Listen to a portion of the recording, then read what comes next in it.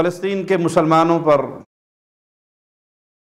यहूदी गासिब व मुजरमों की तरफ़ से जो जुल्म सितम किया जा रहा है, हर वो मुसलमान जिसके जिसम में ज़िंदा दिल है, वो इस जुल्म सितम को देखकर छलनी हो चुका है। गम की दलदल में डूबा हुआ है,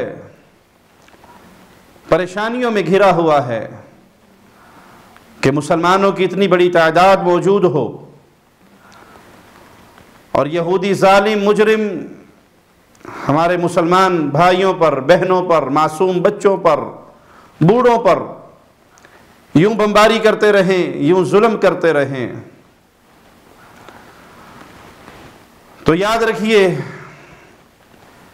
ऐ हमारे मासूम मुसलमान, फ़लस्तीनी भाइयों पर जुल्म करने वाले मुजरिमों, गासिबों, यहूदियों,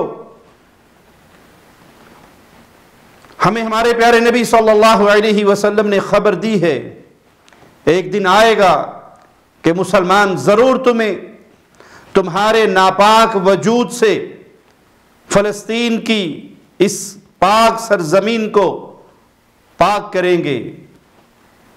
मस्जिद अक्सा जहाँ से हमारे प्यारे नबी सल्लल्लाहु अलैहि वसल्लम मेराज के लिए गए। जो अंबिया की सरजमीन, तुम्हारा नापाक वजूद यहाँ से खत्म होकर रहेगा। मुसलमान तुमसे इंतकाम ज़रूर लेंगे और तुम्हें यहाँ से निकालेंगे। फिर कोई तुम्हें बचा ना सकेगा, कोई तुम्हारी मदद को ना आ सकेगा। इमाम अम्बिया इमाम कायनात मोहम्मद करीम सल्लल्लाहु अलैहि वसल्लम ने फरमाया, ये दरख्तों और पत्थरों के पीछे पनाह लेंगे, छुपेंगे। दरख्त और पत्थर भी आवाज़ लगाकर कहेगा, ताल या मुस्लिम इन नवराई यहूदी मुसलमान आओ, मेरे पीछे एक यहूदी छुपा है, इसको कत्ल कर दो। तुम्हारी रस्सी ढीली की है तो अपने चराइम पे नज़र डालो और कभी ना भूलो कि एक दिन तुमसे तुम्हारे इन जराइम का इंतकाम लिया जाएगा। और मेरे मुसलमान, फलस्तीनी भाइयों, अपने अल्लाह से अपना ताल्लुक मज़बूत रखो। सब्र के दामन को थामे रखो। और इमाम अम्बिया इमाम कायनात, इमाम आज़म मोहम्मद करीम सल्लल्लाहु अलैहि वसल्लम के उस फरमान को याद रखो जो आपने इब्ने अब्बास रज़ी अल्लाह से कहा था।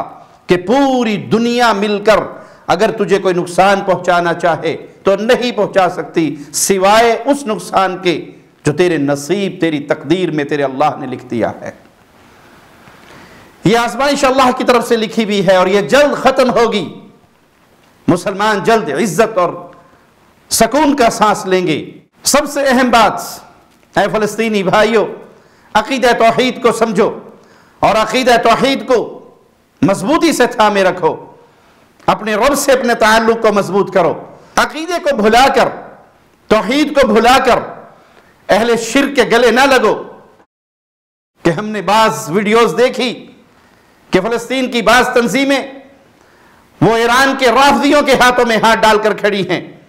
वो मुजरिम, वो जालिम खुमैनी जो सहाबा पर लारतें किया करता था, सहाबा की तकफीर किया करता था शिर की अकबर का बहुत बड़ा दाई था।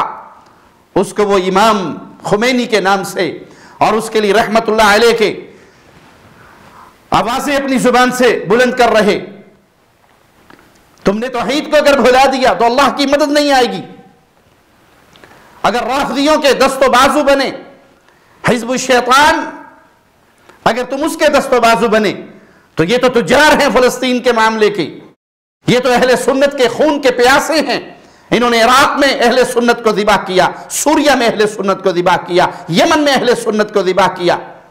इनकी यहूदियों से दुश्मनी नहीं, ये झूठ की बुनियाद पर मौत अमरीका और मौत इसराइल के नारे लगाते हैं।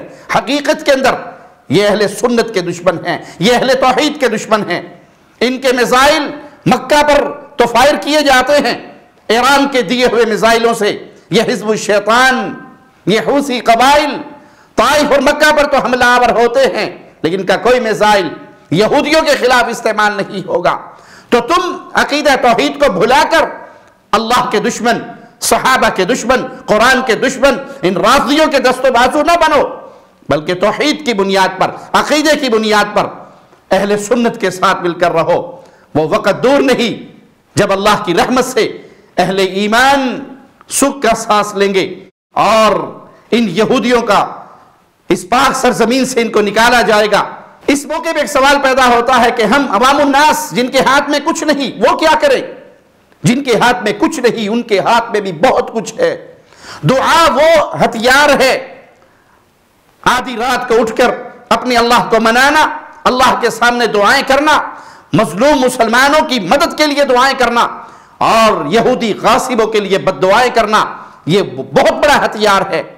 जो कुछ नहीं कर सकते, जो साहिब इख्तियार नहीं है, कम अज कम वो मुसल्लों पर तो अपने भाइयों को, अपने सजदों के अंदर तो याद रखो।